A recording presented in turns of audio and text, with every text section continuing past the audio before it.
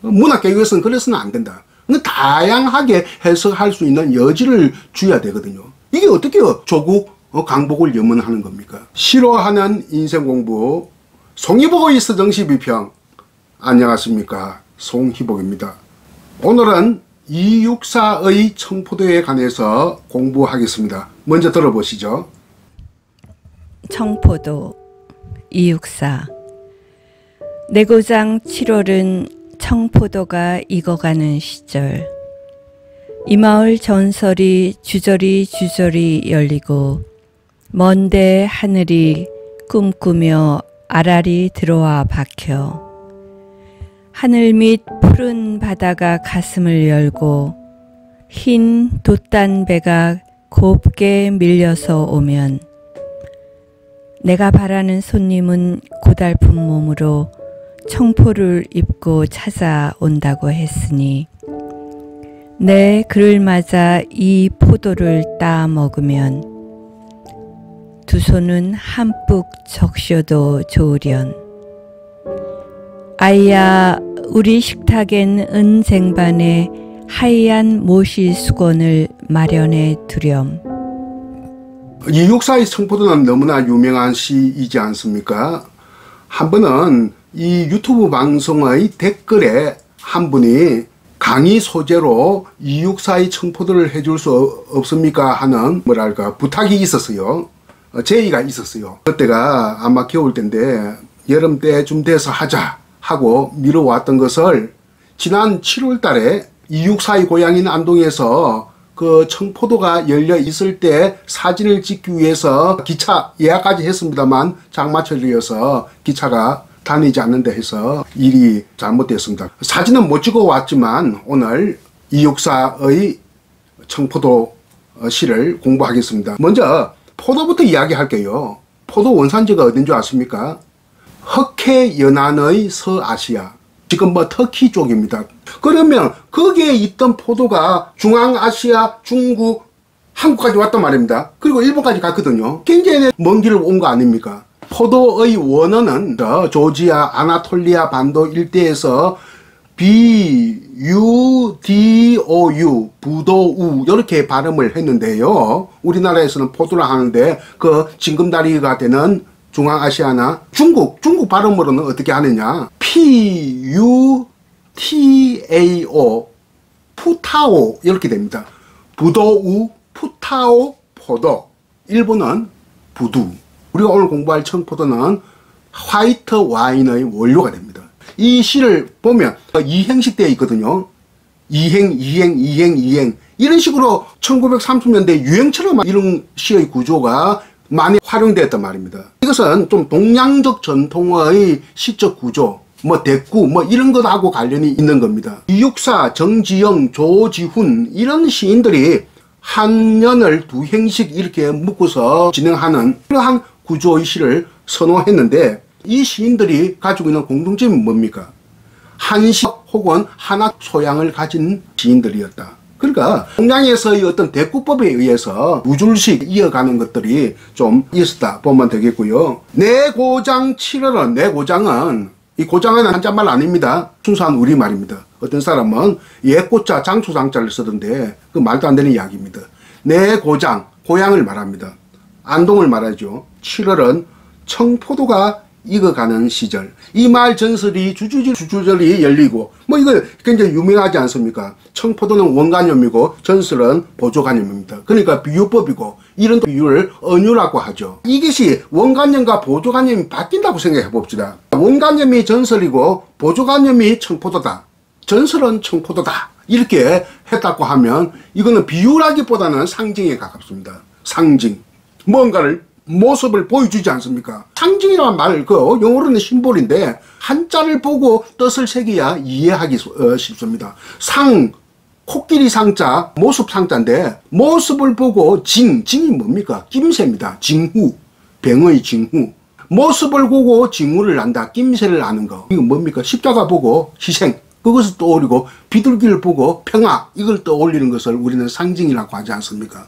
간섭적 상징이지만 그러니까 상징이 되려면 보조관념이 구체적인 모습을 떠올려야 됩니다. 이 전설은 구체적인 모습이 아니거든요. 그야말로 관념이거든요. 그러니까 이때는 비유가 되겠고 만약에 내가 전설이 청포도다 라고 한다고 하면 이거는 비유도 되지만 상징에 더 가깝다. 왜? 구체적인 모습이 있으니까. 청포도라고 하는 구체적인 모습이 있으니까. 아, 이렇게 이해를 해야 됩니다. 상징이라고 하는 것은 코끼리 상자인데 왜 코끼리가 모습이 있냐? 옛날에 중국에 코끼리 많았어요. 고대 때는 코뿔소도 많았고. 그런데 요즘은 거의 없거든요. 왜 그러냐? 기후 변화가 극심하게 한번 있었고 또 그리고 중국 전체가 농경지화 되었거든요. 농경 문화가 들어와 가지고 그러다 보니까 코끼리가 필요 없고 소가 필요한 거거든요. 그러니까 사람들이 옛날에는 코끼리가 분명히 있긴 있었는데 세월이 흐르면 흐를수록 코끼리에 대한 기억이 없거든요. 사람들이. 기록만 있지. 그러니까 코끼리 하면 머릿속에 상상으로 떠올리는 거야. 모습을 떠올린다. 그래서 모습을 떠올린다 해서 모습 상자가 되는 겁니다. 상상할 때도 마찬가지입니다. 상상하는 것은 코끼리를 떠올리는 거. 없는 코끼리, 현실적으로 존재하지 않는 코끼리를 떠올리는 거. 그리고 우리는 푸르다, 파랗다 이 개념이 굉장히 다양한 색채 스펙트럼을 가지고 있습니다. 하늘색도 파랗고, 그 쪽빛도, 쪽빛 바닷물, 연두색도 파랗고, 또 녹색도 파랗고, 진한 녹색을 우리말로 우리가 색의 공식 명칭이 안 들어갑니다만 뭐가 있습니다. 갈매빛. 아, 그러니까 수박 껍데기 같이 아주 진한 녹색을 갈매빛이라고 해요. 이게 전부 다, 다 통틀어서 우리는 푸르다, 파랗다 이렇게 하거든요. 그러니까 이 푸름의 이미지를 이렇게 끌어들이기 위해서 뭐라고 하늘, 푸른 바다 이렇게 다 갖고 오고 있습니다. 사실은 하늘색하고 바다색도 서로 다른 색깔이거든요. 우리가 바닷가 한 나가봐요. 바다와 하늘이 아니라 구분이 되지 구분 안 되는 게 어디 있어요. 조금 진하면 바다고 좀 덜 진해서 푸르면 하늘이고 우리가 수평선 보이지 않습니까? 우리말로는 물금이라고 합니다. 물의 그 금이라고 하는 것은 옛날 금 발렌다 하지 않습니까? 물의 선. 물금이 보이지 않습니까? 하늘색과 바다색은 다르다. 근데 다 하늘색도 파랗고 바다색도 파랗고 보리밭도 파랗고 나무 잎도 파랗고 다 우리는 그렇게 푸르다 파랗다의 개념을 폭넓은 색채 스펙트럼을 가지고 있기 때문에 외국 사람들이 가지고 있는 청색의 개념과는 다르다. 서양인, 중국인, 뭐 또 일본 사람들하고도 다르다 하는 겁니다. 하늘 밑 푸른 바다가 가슴을 열고 흰 돛덤배가 곧게 밀려서 오면 그 다음 사연. 이 사연이 가장 중요한 겁니다. 이 시에서. 이 육연시 중에서 가장 중요하죠. 내가 바라는 손님은 고달픈 몸으로 청포를 입고 찾아온다고 했으니 내가 바라던 손님 이 손님이 누굴까요? 이 전부 다 우리가 이 연을 두고 조국 광복의 염원이라고 이렇게 가르쳐 왔거든요. 여러분도 그렇게 배웠을 겁니다 제가 젊을 때 고등학교 국어 선생 할 때도 그렇게 가르쳤어요. 제가 그렇게 가르치고 싶어서 가르치는 게 아니라 문교부에서 나온 교사용 지출서에 그렇게 가르치라고 했기 때문에 가르친 겁니다. 교육 과정대로 가르친 겁니다. 엉뚱하게 가르치다가 내가 그저 대학 시험에서 문제가 나와가 틀리면 어떻게 하겠습니까? 그래서 이런 식으로 우리가 가르치면 답이 뻔하지 않습니까? 이 시의 해석을 항상 열어놓아야 되는데 다양성과 가능성을 활짝 열어놓아야 되는데 이렇게 내었다가 뗄로 대형시키 버리면 뭐 폐쇄적인 어떤 시 해석, 자폐적인 시 해석이 된단 말입니다. 근데 학생에게 문학을 통해서 교육을 시키면서 어떻게 열린 사고를 형성시킬 수가 있겠느냐? 문학 교육에서는 그래서는 안 된다. 다양하게 해석할 수 있는 여지를 줘야 되거든요. 이게 어떻게 조국 강복을 염원하는 겁니까? 그런 식으로 해서는 안 된다. 나도 국어 선생 시절에 그렇게 가르쳤습니다만 교육과정대로 뭐 가르쳐야죠. 어쩔 수 없었는데 지금 생각하기에는 잘못된 것이다 이렇게 보고 있습니다. 그래서 이 연이 가장 중요한 거고 바로 이 손님을 두고 나는 접빙객의 사상이다. 이육사는 태계 선생의 후손이거든요. 그 가게는 전통적으로 이 양반 가게, 선비 가게로 개성을 해왔단 말입니다. 양반인이 선빈이 하는 것은 딴 거 필요 없어요. 딱 두 가지만 잘하면 됩니다. 봉제사 접빙계. 부모와 조상의 제사를 잘 모시고 봉제사, 접빙객, 손님을 잘 접대하는 게 그게 양반입니다. 그래서 종갓집 며느리들이 뭘 잘합니까? 음식 잘하는 이유가 거기에 있는 겁니다. 이것이 바로 접빙객의 정신이다. 나는 이 시에서는 손님 이것을 통해서 육사 선생의 접빙객의 사상이 잘 드러나 있다. 이렇게 보는데요. 청포를 입고 손님이 찾아온다고 해서 청포는 청포도와 발음상 유사성은 있지만 전혀 다른 개념이죠. 이 청포는 뭐냐? 이 책을 보면요. 지금 만약 이, 어, 264 전집이 나온 것을 보면 밑에 주석은 조선시대 4, 5, 6품 베슬라치가 있는 공복. 청포는 경사스러운 일의 상징이다. 아, 글쎄요. 하여튼, 쪽빛으로 물든 도포인 것은 사실입니다. 그냥 쪽빛으로 물든 도포를 읽고 찾아왔으니 이렇게 하면 되는데 형사스러운 일의 상징까지 이야기를 할 필요가 있겠느냐 하는 생각이 들고요. 그 다음 제 5연을 볼까요? 내 그를 맞아 누구를 맞아 그 손님을 맞아서 이 포도를 따먹으면 두 손 한뿍 적셔도 조련 마지막 연입니다. 아이야. 아이가 누굽니까? 이거 뜻이 두 가지예요. 보통 시조에 많이 나오지 않습니까? 종장 쳐든보에 아이야 하지 않고 아히야 보통 많이 하거든요. 근데 여기는 아이야인데 정말 아이일 수 있습니다. 그러니까 신부름꾼 아이, 동자일 수도 있고 또 하나는 그거하고 관계없이 그냥 감탄사로 아이야 이렇게 아히야 옛날에 그렇게 쓸 수도 있습니다. 이게 두 가지 다 포함이 될 수도 있고 둘 중에 하나와 관련될 수도 있는데 두 가지 다 이렇게 포함이 된다 하면 중의법이라고 할 수 있겠죠. 아이야, 시조 종장 천원법에 많이 쓰고 있는 감탄사다. 이렇게 보는 것이죠. 이 시는 사슬시조의 변형이라고 보면 되겠습니다. 1년은 장이고 2, 3, 4, 5연은 중장이고 중장이 길어지면 사슬시조거든요.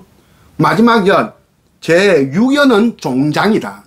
아, 아이히아는 시조의 종장 처덤버 감탄사다 이렇게 본다 하면 전체적으로 본다 하면 사설 시조의 변형이다. 이분은 바로 선비가 양반가의 후손이기 때문에 시조에 대한 소양이나 기억이나 경험들이 참 많을 겁니다. 그런 점에서 나는 전체적으로 본다 하면 시인이 의식을 했던 의식을 하지 않았던 사설시조의 변형된 형식과 관련이 있다. 바로 시조가 또 선비, 양반의 문화거든요. 유교적 이념을 긍정적으로 구현하는 문학적 양식이거든요. 그러면 우리가 정리를 해봅시다. 탈향과 기향이란 개념이 있습니다. 자기 고향을 벗어나면 탈향이고 타향에서 살다가 늙음하게 고향으로 돌아오는 것을 기향이라고 합니다. 탈향과 기향의 관계를 보면 이 시가 분명히 드러납니다. 이 시는 타랑의 시입니까? 기양의 시입니까? 기양의 시죠. 고향으로 돌아가서 마지막으로 여생을 잘 보내고 싶다 하는 그런 염원이 달려있지. 조국 강복의 염원이 아닙니다. 타랑은 뭡니까? 고향을 벗어나는 것은 뭔가 하고자 할 때 고향을 벗어납니다. 그러나 타양에서 타관 땅에서 일을 많이 하고 이제는 쉬고 싶다 하는 생각이 들 때 쉬고 싶을 때 기양을 하게 되어 있는 겁니다. 이육사는 탈향 기간이 많습니까? 기향 기간이 많습니까? 탈향 기간이 대부분이에요, 인생을. 어릴 때 좀 살았던 것밖에 없어요. 성인이 되어서는 대부분 고향을 벗어났습니다. 중국도 가고, 만주도 가고, 저, 어, 일본도 가고, 그러니까 내그 성인이 된 이육사는 독립운동 한다고, 투쟁한다고, 또 문학 활동을 한다고 대부분 타향살이를 했던 분입니다. 이 탈향이라고 하는 것은 고향을 벗어났다 하는 것은 욕망과 소망을 뜻하는 것이죠. 그런데 아 이제 고향으로 가고 싶다 한다는 것은 욕망과 소망의 뜻보다는 안식과 휴식의 개념과 연관이 됩니다. 이육사 선생의 타량은 바로 투쟁이거든요. 항일 투쟁. 이육사 선생의 사상은 복잡합니다. 일본 경찰은 뭐라고 분석을 했느냐? 민족 사회주의자라고 했거든요. 민족주의, 사회주의, 또 무정부주의. 뭐 이 세 가지 다 잡다하게 섞여 있습니다. 이 세 가지 섞여 있어도 딱 하나 일관되는 것은 항일, 항일입니다. 항일 반제. 일본에 대해서 저항하고 제국주의를 반대하는 정신. 그런 어떤 사상을 가지고 길지 않는 삶의 투쟁으로 보냈거든요. 근데 기양을 하는데 투쟁의 감정을 가지고 기양하는 사람 누가 있겠어요? 그걸 버리고 마음의 뭐 평안을 얻기 위해서 투쟁보다는 평화입니다. 그리고 타량은 몸부림치는 거라고 한다면 바로 기향은 영혼입니다. 영혼. 영혼의 기환 뭐 이런 개념이거든요. 그러면 이 시가 어느 쪽이냐? 탈향 쪽이냐? 기향 쪽이냐? 삶의 고달픔을 경험한 그가 얼마나 그 뭐 고달픔을 많이 경험했습니까? 감옥에도 갇히고요. 이제는 모든 것을 내려놓고 싶다. 자기도 사람인데 그런 마음이 없겠습니까? 또 부인도 있고 딸도 있는데 자기처럼 기양하는 안동으로 돌아오는 또 지사들도 많이 있을 거 아니에요. 상해에 가 있는 사람도 있고 저게 리순에 가 있는 사람도 있고 뭐 블라디보스톡에 가 있는 사람도 있을 텐데 특히 안동 지방은 독립운동가들이 많았거든요. 그래서 자기처럼 기양하는 벗을 맞이해서 고향에서 평화롭게 함께 여생을 보고 싶다 하는 뜻에서 무엇을 내놓겠다? 청포를 내놓겠다. 그래서 조국 강복을 염원한 시라기보다는 여생의 동행자, 동방자와 함께 이제 고향에서 살고 싶다는 것을 바라는 시다. 이렇게 보는 것이 맞지 않겠느냐 하는 것이 제 생각입니다. 그래서 이 시에 반영된 사상이랄까 주제 이런 것은 접빙객의 사상이다. 그래서 이게 보면요. 언쟁반이라고 나와 있는데 언쟁반.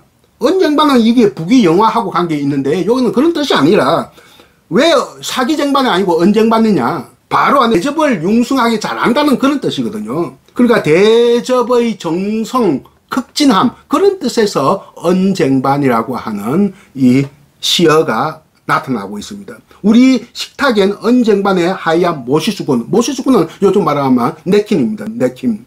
은퇴한 선비의 상, 낙향한 선비의 삶을 노래한 것이 바로 청포도가 아니겠느냐.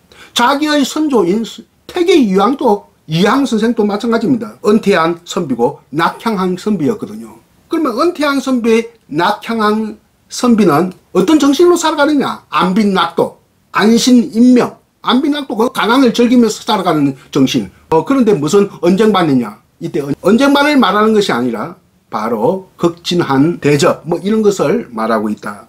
그리고 안신인명, 마음을 편안히 해서 자기의 명, 어, 자기의 명도로 살아가는 것을 빨리 죽으면 뭐 할수 없이 빨리 죽는 거고 장수하면 고맙게 장수하는 것이고 어, 운명대로 자기의 자신의 명대로 살아가는 것 빨리 죽든 오래 살든 개의치 않고 어, 이제는 쉬면서 인생을 내려놓고 싶다. 이렇게 하는 것이 바로 은퇴한 선비의 삶이요 낙향한 선비의 생각이었다. 그런 것들이 반영된 것이에요. 그리고 굉장히 인간적이죠. 제 해석을 들어보면. 이걸 왜 조국 강복의 염원이라고 착관의 해석을 해야 되겠습니까? 이육사의 청포도를 강의 소재로 해달라는 분께 오늘 보답하기 위해서 이 강의를 했습니다. 참고를 했으면 좋겠다는 생각이 들고요. 그러면 여러분들 지금 안에 그 굉장히 무더운 날씨인데요. 이것이 방송이 아니라 언제 나갈지 모르겠습니다만 무더운 날씨에 여러분들 건강에 유의하시기를 바라며 오늘 강의를 여기서 마칠까 합니다.